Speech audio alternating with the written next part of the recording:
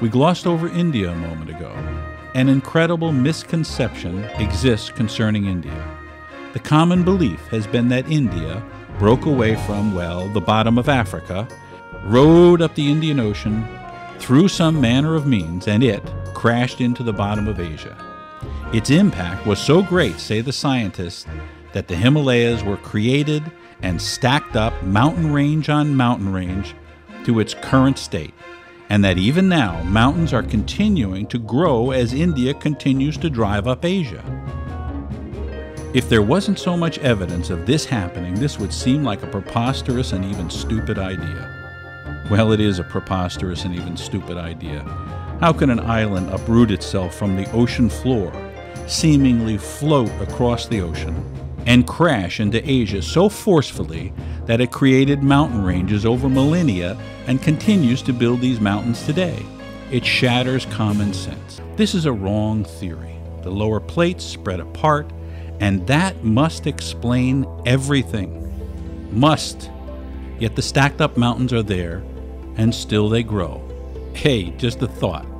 Maybe Italy crashed into Europe like India crashed into Asia. A little smaller, but they look the same to me. Of course, I have an answer to this mystery. Two gigantic ramjet rocket motors mounted on the base of India, fueled by the magma flow from inside the Earth. Well, no. There is a logical explanation for the growing Himalayas above a massive India, and this is it. India was once attached to Africa when the world was much smaller. It was also attached to Asia as the earth grew, Africa unwrapped from under the earth and tore away from India.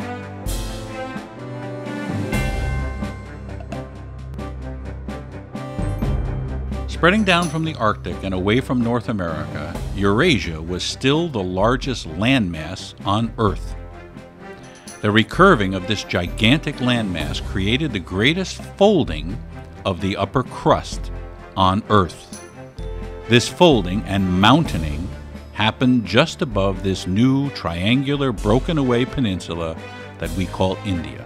If India wasn't hanging down there, northern India would be Asia's coast. This land area was stretched out to the side, just as northern Italy was stretched sideways, because it was on Europe's stretching coast. Down lower, on both India and Italy, the sideways pulling tension ceased, and normal recurving, mild mountaining began anew.